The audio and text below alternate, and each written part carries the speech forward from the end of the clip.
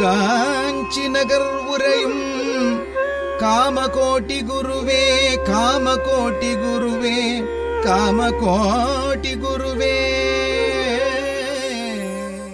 நேயர்களுக்கு அன்பு வணக்கம். அனுஷத்தின் அனுகிரகம் நிகழ்ச்சியில் மனம் குறித்து அந்த மனதை அடக்கி நித்திய இன்பம் நிம்மதி கவலை இல்லாத ஒரு நிலையை பெறுவது என்பது குறித்து பெரியவர் என்ன சொல்கிறார் என்பதை நாம் பார்க்க இருக்கிறோம். நேற்றைய தினம் நான் ரொம்ப விஸ்தாரமாக மனம் பற்றின பல விஷயங்களை நான் பகிர்ந்து கொண்டேன். மனிதனுக்கு மட்டும்தான் மனம் மற்ற உயிர்களுக்கு இல்லை என்பதில் தொடங்கி நம்முடைய மனம் எப்படிப்பட்டதாக இருக்கிறது அப்படிங்கிறது வரை நான் வந்து நிறைய விஷயங்களை அலசினேன். இந்த மனம் குறித்து நிறைய அறிஞர்கள் வந்து கருத்து சொல்லியிருக்கிறார்கள். நிறைய பேர் வந்து என்ன பண்ணணும் அப்படின்னு சொல்லியிருக்காங்க இன்றைக்கு வந்து மனதை அடக்கும் வழிகளாகட்டும் மனதை புரிந்து கொள்ளும் வழிகளாகட்டும் சந்தோஷமாக இருப்பதற்கான வழிகள் என்று சொல்லி எல்லா மொழிகளிலும் நூற்றுக்கணக்கில் புஸ்தகங்கள் அறிஞர்கள் எழுதியிருக்கிறார்கள். அவைகளை எல்லாம் படிக்கும் பொழுது ஆஹா! அப்படின்னு ரொம்ப சந்தோஷமாக இருக்குது அவ்வளோதான் பின்பற்றுவது அப்படின்ற ஒரு விஷயத்தில் வரும்பொழுது தான் நாம் வந்து மாறி போயிடுறோம். அநேக விஷயங்களை நாம் வந்து சில நாட்கள் பின்பற்றுகிறோம். அப்புறம் நம்மளால் பின்பற்ற முடியல. பழைய குருடி நீ கதவை திருடி.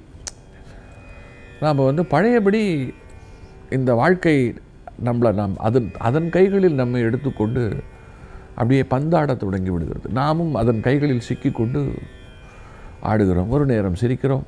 ஒரு நேரம் அழுகிறோம். ஒரு நேரம் என்னவோ வாழ்க்கை அப்படிங்கிறோம். இப்படி நம்ம மனம் அப்படிங்கிறத நாம் எப்படி வச்சுருக்கோம் அப்படின்னு சொன்னால் ஒவ்வொருத்தரும் ஒவ்வொரு விதமாக வச்சுருக்கோம். மொத்தத்தில் யாருமே ஒளி மிகுந்ததாக ஸ்திரமாக மிகச் சந்தோஷமாக கலக்கம் இல்லாததாக உறுதியானதாக வைத்துக் கொண்டிருக்கவில்லை. நூற்றுக்கு தொண்ணூற்றி ஒன்பது பேர். இந்த மனதை ரொம்ப ஒரு கலங்கம் ரொம்ப சுலபத்தில் கலங்கக்கூடியதாக. ஒரு சாதாரண ஒரு விஷயத்தை கேள்விப்பட்டால் கூட ஒரு இழப்பை கேட்டால் கூட தாங்கிக் கொள்ள முடியாதபடி உடனே கண்ணீர் விடக்கூடியதாக. கவலை மிகுந்ததாக. தெளிவற்றதாக. இப்படித்தான் நம்ம வைத்து கொண்டிருக்கிறோம்.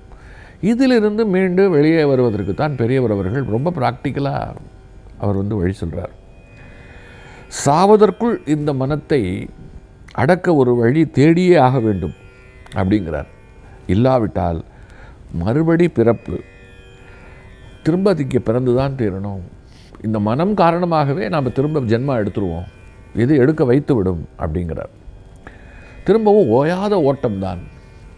பிறந்தாச்சுன்னு சொன்னாலே ஒரு குழந்தையாக பிறந்தாச்சுன்னு சொன்னாலே முதுமை அடைகிற வரையில் ஒரு நெடிய காலம் அதற்குண்டான எல்லா விதமான பருவங்களையும் இந்த உடல் சந்தித்து வாலிபனாகி அதுக்கப்புறம் நடு மத்தியஸ்தனாகி அதுக்கப்புறம் முதியவனாகி அதுக்கப்புறம் கிழவனாகி அப்படின்னு ஒரு நிறைய வாழ்க்கை. அந்த வாழ்க்கைக்கு உண்டான தன்மைகளை எல்லாம் பார்த்து நாம் திரும்ப திரும்ப திரும்ப திரும்ப ஓடிக்கொண்டே இருக்கணும். அதனால் அதற்காகவாவது திரும்ப பிறக்கக்கூடாது இந்த உலகத்தில் வந்து சிக்கிக்கக்கூடாது அப்படிங்கிறதுக்காகவாவது நாம் வந்து இந்த மனத்தை அடக்கித்தான் தீர வேண்டும். எனவே இந்த ஜென்மாவிலேயே காமமும் குரோதமும் ஏற்படுவதற்கு எவ்வளவோ ஹேதுக்கள் இருக்கும்போதே இவற்றின் நடுவில் மனத்தை அடக்க முழு பிரயத்தனமும் பண்ண வேண்டும். அப்படி பண்ணினவன்தான் யுக்தன் என்கிற யோகி அவன்தான் சுகி என்கிற உண்மையான ஆனந்த ஆத்மா அப்படிங்கிறார் கிருஷ்ண பகவான். அதை சொல்லுகிற பெரியவர் என்ன சொல்கிறாருன்னா யோகமெல்லாம் ரிஷிகளுடைய சமாச்சாரம். நமக்கு வருமா என்று நாம் விட்டுவிடலாகாது.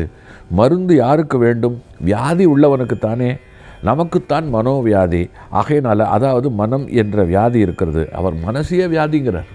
நமக்கு மனம்னு ஒன்று அமைக்கப்பட்டிருக்கு இல்லையா? மனசுக்குள்ள வியாதி இல்லை. மனமே மொத்தத்தில் வியாதி.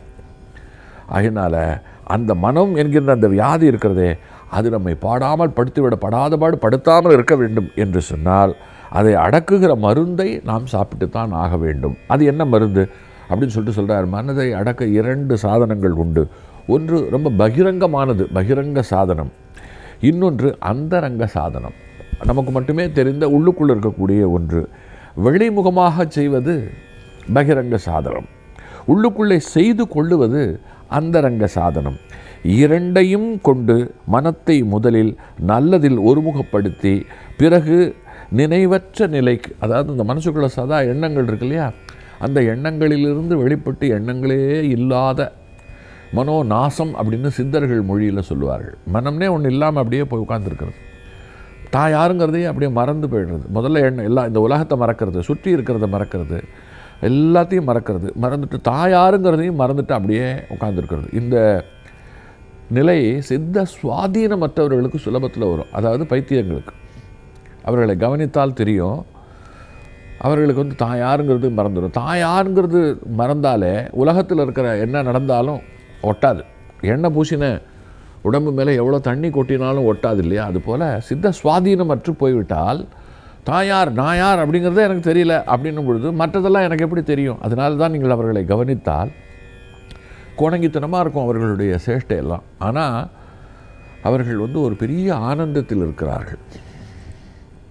ரொம்ப பெரிய ஆனந்தத்தில் இருக்கிறார்கள். அவர்களை வந்து நம்ம கவலைப்பட வைக்கவே முடியாது. அவர்கள் அப்படியே ஒரு விதவிதமாக சிரித்து கொண்டிருப்பார்கள். ஆனால் அவர்களுடைய எந்த ஒரு செயலிலும் அறிவார்த்தம் இல்லாததுனால அதுக்கு ஒரு மதிப்பு இல்லை. அதனால் என்ன பண்ணுறோம் படா பைத்தியக்காரா அப்படின்னு சொல்லிட்டு ஏளனம் செய்கிறோம். ஆனால் உண்மையில் அவர்கள் உடல் ரீதியாக மனோ ரீதியாக அவர்கள் நம்மை விட அதிக மகிழ்ச்சியில் இருக்கிறார்கள். அதில் மட்டும் எந்த சந்தேகமும் வேண்டாம். மதிப்போடு இருக்கிறார்களா? இல்லை. ஆனால் நமக்கு இப்போ என்ன தேவை தெரியுமா? அவர்களைப் போல மகிழ்ச்சி அதே போல் மதிப்பு இதுவும் நமக்கு வேணும் அப்படின்னு சொன்னால் நாம் செய்ய வேண்டியது ரெண்டு. அதைத்தான் அவர் சொல்கிறார் பகிரங்க சாதனம் அந்தரங்க சாதனம். சொல்லிட்டு அதுக்கு என்ன வழி அப்படின்னு சொல்லும் பொழுது அவர் சொல்கிறார் தான தர்மம் செய்வது. அதாவது பிறருக்கு உதவி செய்வது. அடுத்தது சந்தியாவந்தனம். இது வந்து பிராமணர்களுக்கு விதிக்கப்பட்டிருக்கிற ஒரு கடமை மூன்று வேளை. எப்படி இஸ்லாமியர்களுக்கு ஐந்து வேளை தொழுகையோ அதுபோல் பிராமணர்களுக்கு வந்து காலை மதியம் மாலை மூன்று வேளை சூரியனை பார்த்து நாம் வந்து செய்ய வேண்டிய ஒரு கடமை. அடுத்தது யாகம் வேள்வி வேள்வி செய்வது என்பது. அப்புறம் பூஜை அப்புறம் பரோபகாரம். எல்லோருக்கும் நம்மளால் முடிந்த உதவிகளை செய்வது எல்லாம். இதை செய்கிற மனம் நமக்கு வரணும். மனசால் இதையெல்லாம் நம்ம செய்ய பழகிட்டால் இந்த மனம் இருக்கிறது அல்லவா? இதில் துன்பம் வராது. இது வந்து ஆசை குறைஞ்சி போயிடும். பிறருக்கு தான் நம்ம இருக்கோம் அப்படிங்கிறது வந்துடும். நம்மளை எல்லோரும் சுற்றி இருக்கிறவர்கள் நம்மளை பார்த்து மதித்து நம்மளை வந்து நம்மகிட்ட நம்மளுடைய அன்பை மதித்து நம்மகிட்ட நெருங்கி வந்து நமக்கு துன்பம் யாருமே தரமாட்டார்கள். பிறரால் நமக்கு அப்படியே தந்தாலும் அதுக்கு காரணம் இருக்குதுன்னு சொல்லிட்டு நாம் அதை தாண்டி கொண்டு போக தொடங்கி விடுவோம். பாருங்களேன் நம்மளை நம்ம மனதை அடக்கிறதுக்கும் நம்ம மனத்தை வெல்வதற்கும் இதை வந்து எத்தனை நுட்பமான ஒரு வழியாக பெரியவர் அவர்கள் காட்டுகிறார் அப்படின்னு பாருங்கள் இது வந்து இது வந்து ஒரு வழி. அடுத்தது தியானம். இதெல்லாம் வெளியில் செய்கிறது இன்னொன்று உள்முகமாக செய்வது. தியானம். எண்ணங்கள் அற்றுப்போதல். ஒரு ஒரு குறிப்பிட்ட நாமாவை சொல்லிக்கொண்டு அப்படியே அமர்ந்து விடுவது. முதல்ல என்ன செய்யும் அப்படின்னு சொன்னால் நிறைய அடக்க பார்க்கும் பொழுது பொங்கி எழும். ஒரு கருத்து சொல்வார்கள். மனசை அடக்க முயன்றால் அது குதிரை போல பொங்கி எழும். அறிய முயன்றால் அடங்கிவிடும். அதனால் இந்த மனதை அறிய முயன்று அப்படியே தியானம் செய்ய செய்ய செய்ய அது நமக்குள்ளே அடங்கி நாம் வந்து சூன்ய நிலை எந்த ஏதுமற்ற நிலைக்கு வந்துடுவோம் அப்போ ஒரு பெரிய ஒளி தோன்றும். ஒரு வெளிச்சம் தோன்றும் ஒரு இதம் தோன்றும். இது நமக்கு வசப்பட்டாச்சு அப்படின்னு சொன்னாலே நம்முடைய அன்றாட வாழ்க்கைக்கு நடுவில் தினந்தோறும் முதல்ல கொஞ்ச நேரம் அப்புறம் அந்த நேரத்தை அப்படியே அதிகரித்து கொண்டு போய் அனிச்சையாக காரியங்கள் செய்வதற்கிறதல்ல அதிலிருந்து விலகி நாம் அப்படியே ஒரு பக்கம் ஒன்று செய்தால் நல்லதை செய்வோம். மற்ற நேரங்களில் மனசை அடக்கிக் கொள்வோம். நம்ம மனசை யாராலையும் காயப்படுத்தி நம்ம மனசை யாராலையும் கஷ்டப்படுத்தி செய்ய முடியாது. ரெண்டு விஷயங்கள் இதற்கு பயன்படுகிறது. ஒன்று நான் முன்னாடியே சொன்னது போல் பரோபகாரம் பிறருக்கு உதவி செய்வது கடமைகள் நமக்கு கொடுக்கப்பட்டிருக்கிற கடமைகளை செய்வது.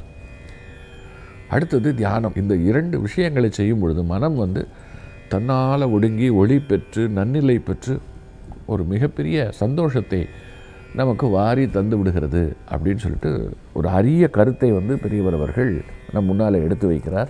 இன்னொன்று அவர் சொல்கிறார் அகிம்சை சத்தியம் அஸ்தேயம் சௌசம் இந்திய அனுகிரகம் என்று விஷயங்கள் இருக்கின்றன. இவைகளையும் நாம் பின்பற்ற வேண்டும். அகிம்சை அகிம்சைனா எல்லாருக்கும் என்னென்னு தெரியும். ஒரு சிறு துன்பம் கூட பிறருக்கு தராத ஒரு தன்மை. அப்புறம் சத்தியத்தோடு நடந்து கொள்வது சத்தியம் பிசகாமல் இருப்பது. ஆக இந்த உலக மாயா உலகம் நம்மளை வந்து அசிச்சு ஆட்டி செயல்படுத்துகிற விஷயங்களிலிருந்து விடுபடுவதற்கு அதுக்கு இடமே கொடுத்துடாமல் நாம் வாழறது அப்படிங்கிறது தான் இதனுடைய சுருக்கமான ஒன்று. அதை நாம் செய்யும் பட்சத்தில் நமக்கு நிச்சயமாக நம் மனம் இருக்கிறதே ஒளிமிகுந்ததாக தெளிவானதாக திடமானதாக கவலை என்பதை துளி கூட அற்றதாக. கையில் கோடி ரூபாய் இருந்தால் தான் சந்தோஷம் அப்படிங்கிறதுக்கெல்லாம் இடமில்லாததாக. அப்படி அயகாந்தமாக விளங்கும் அப்படிங்கிறதுல எந்த விதமான சந்தேகமும் இல்லை. நான் சொல்லலை பெரியவர் சொல்கிறார் தொடர்ந்து சிந்திக்கும். காஞ்சி நகர் உரையும் காமகோட்டி குருவே காமகோட்டி குருவே காமகோட்டி குரு